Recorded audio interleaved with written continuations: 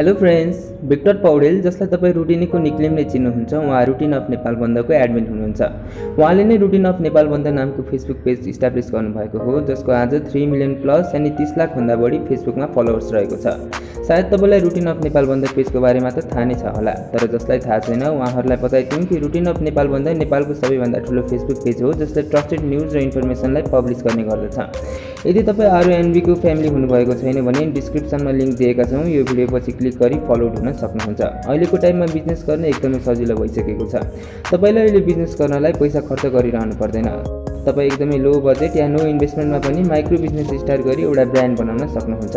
आरओएनबीले पनि त्यही गर्यो। पहिला आरओएनबी एउटा लोकल पेज मात्र थियो तर पछि भिक्टरले यस्तो स्ट्राटेजीहरू अप्नाउनु भयो जसको कारणले गर्दा आरओएनबी एउटा ब्रान्ड बनेको छ र जसले भिक्टरलाई दिनौँ कयौँ हजार रुपियाँ प्रफिट बनाएर दिने गर्दछ। त्यो पनि लो या एकदमै नो इन्भेस्टमेन्टमा। आज हामी आरओएनबीको यस्तो फाइभ स्ट्राटेजी बताउने छौँ जसलाई यदि तपाईँ पनि न्यू माइक्रो बिजनेस स्टार्ट गरी अप्लाई गर्नुहुन्छ भने तपाईँको बिजनेस पनि ब्रान्ड बन्नेछ।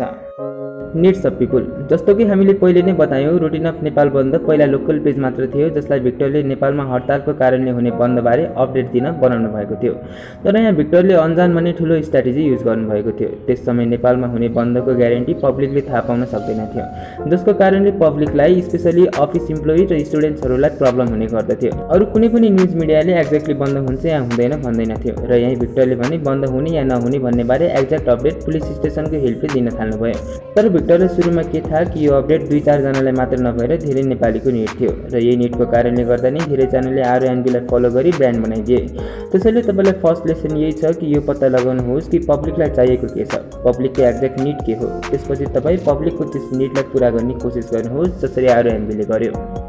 Quality matters. यदि तपाईँ रुटिन अफ नेपाल बन्दको एक्टिभ फलोवर्स हुनुहुन्छ भने सायद तपाईँले एउटा कुरा नोटिस गर्नुभएको हुनसक्छ। रुटिन अफ नेपाल बन्दले कहिले पनि लो क्वालिटीको इमेज या भिडियोज पोस्ट गर्दैन। न त तपाईँले पोस्टमा लेखिएको टेक्स्टमा नै मिस्टेक भेटाउनु हुनेछ यहाँ हामीले भन्न खोजेको क्वालिटी एकदमै म्याटर गर्छ भन्ने हो। क्वालिटी कुनै पनि बिजनेसमा म्याटर गर्दछ। कुनै पनि बिजनेस कतिसम्म हिट हुन्छ भन्ने कुरा उसको क्वालिटीमा नै म्याटर गर्दछ। यदि तपाईँको प्रोडक्टमा क्वालिटी छ भने तपाईँलाई पब्लिसिटी या मार्केटिङको जरुरत नै पर्दैन।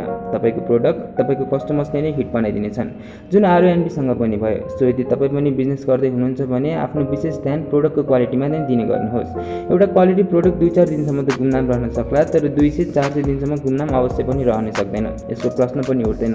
त्यस प्रोडक्ट अवश्य हिट भएरै छोड्दछ। त्यसैले तपाईँले पनि बिजनेसमा कसरी धेरै कस्टमर्सलाई एट्र्याक्ट गर्ने भन्दा पनि कसरी आफ्नो प्रोडक्टलाई राम्रो बनाउने भन्ने ध्यान दिनुहोस्। यदि तपाईँको प्रोडक्टको क्वालिटीमा दम छ भने कस्टमर्सले तपाईँको प्रोडक्ट एक दुई पटक त इग्नोर गर्न सक्लान् तर सधैँभरि इग्नोर गर्न सक्दैन। उनीहरूले तपाईँको प्रोडक्ट अवश्य किनेरै छान्नेछन् बिल्ड द ट्रस्ट आरओएनबीले कहिले पनि झुटो पोस्ट हाल्दैन आरओएनबीले जति पनि पोस्टहरू हाल्छ सबै पोस्टहरू डिटेली एनालाइज हुन्छ र हन्ड्रेड पर्सेन्ट राइट हुन्छ। यदि कुनै पोस्ट झुकेर झुटो रहेछ भने पनि आरओएनबी सतर्क हुन्छ र त्यस पोस्टलाई डिलिट गरी माफी समेत माग्दछ। यसै कारणले गर्दा आरओएनबीको फलोवर्सहरूलाई आरओएनबी प्रति ट्रस्ट रहेको छ। बिजनेस भलै पैसा कमाउनको लागि रन गरिएको भए पनि बिजनेसमा पैसा भन्दा पनि ब्रान्डलाई जोगाउन ध्यान दिनुपर्छ। यदि तपाईँले आफ्नो ब्रान्डको साटो मात्र पैसामा ध्यान दिई प्रोडक्ट बेच्न थाल्नुभयो भने तपाईँ खराब प्रोडक्ट बेच्न सक्नुहुन्छ। यसले गर्दा मानिसहरूले एकपटक त तपाईँको प्रोडक्ट किन्लान् तर अर्को पटक भने डिफिनेटली पनि किन्दैनन्। त्यसैले आफ्नो कस्टमरसँग लोयल रहनुहोस् किनभने कस्टमर्स नै बिजनेसको किङ हो। कन्टिन्युटी विथ प्यासेन्स बिजनेसमा तपाईँलाई लङ टर्म भिजन हेर्न आवश्यक छ। तपाईँलाई सर्ट रनभन्दा पनि लङ रनमा ध्यान दिन आवश्यक छ। यदि तपाईँ सर्ट रनको लागि बिजनेस गर्दै हुनुहुन्छ भने तपाईँको बिजनेस ग्रो हुनै सक्दैन। स्क्रिप्टको यो लाइन तपाईँ आफ्नो माइन्डको पेपरमा पनि लेखेर राख्नुहोस्। धेरै फाइदा कमाउनको लागि बिजनेसमा लङ रनमा नै ध्यान दिनुपर्ने हुन्छ। तपाईँको बिजनेसलाई ग्रो गर्नको लागि घटीमा पनि एक वर्ष त प्यासेन्सको साथ काम गर्नुपर्ने हुन्छ। त्यसपछि मात्र तपाईँको बिजनेसले ऱ्यापिड ग्रोथ लिनेछ। रुटिन अफ नेपाल बन्दालाई आफ्नो बिजनेस ग्रो गर्नको लागि छदेखि सात वर्ष लाग्यो। यो पेज सन् टु थाउजन्ड इलेभेनमा क्रिएट गरिएको थियो। सो तपाईँलाई आफ्नो बिजनेसलाई ग्रो गर्नको लागि प्यासेन्सको साथ कन्टिन्युटी हुन जरुरी छ।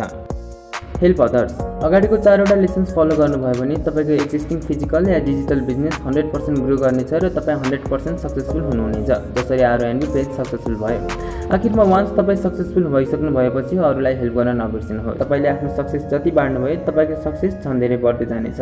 आरओएनबी अहिले सक्सेसफुल भएपछि उसले गरिब स्टुडेन्ट्सहरूलाई स्कलरसिप दिने टुरिज्म प्रमोसन ट्री प्लान्टिङ इत्यादि जस्ता हेल्पहरू सोसाइटीलाई गर्दै आएको छ। जसले रुटिन अफ नेपाल बन्दलाई एउटा फ्रेन्डली पेज बनाएको छ।